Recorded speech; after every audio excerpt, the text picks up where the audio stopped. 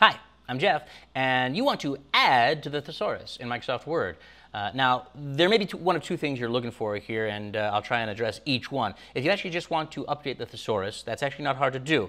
The thesaurus in Microsoft Word is built in. It's like a thesaurus that you would read, an actual book. I've said thesaurus so many times at this point that I'm actually getting a little tongue-tied, but I could probably find another word for it. Is there another word for thesaurus? Not sure. Now, if you go up here and do Tools in Microsoft Word and go to Research, it's going to open up the research pane. This uh, gives you all your kinds of uh, dictionaries and thesauri and the things that you need if you're trying to figure stuff out. Actually, also works with other languages too, which is kind of nice. I'm going to go down here to the bottom of the pane, and I'm going to click Research Options.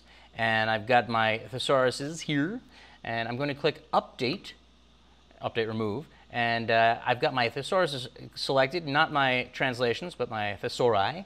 And I'm going to hit update again. And it says services were updated successfully. That means that we have the most up-to-date thesaurus. Uh, the words that we're going to look for there, synonyms, antonyms, they're there. We're set, no problem. Hit close and close again, and you can even hit the little X on the research pane, to get rid of that, and you're set.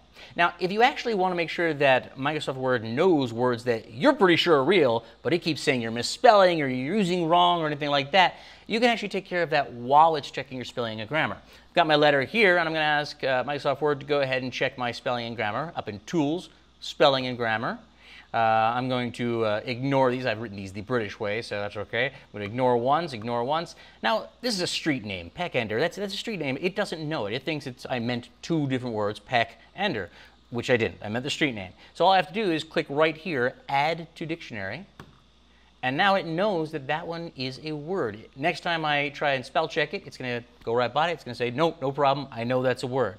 Um, if you want to get rid of that, though, uh, you can actually decide, oh, you know what, actually, I'm not going to be using peckender a lot anymore. I'm not writing to this guy anymore. Don't have to worry about it. Get it out of my dictionary, so if I actually mean to write peckender and forget the space, word catches me. Go back into Tools of Spelling and Grammar, and you go to Options, and click Custom Dictionaries right here.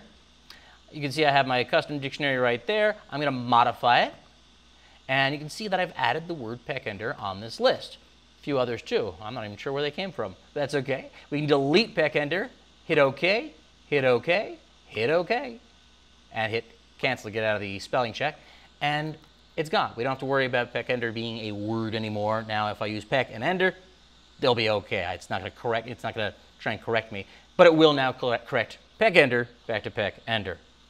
I'm Geoph, and this was all about adding to the thesaurus on Microsoft Word.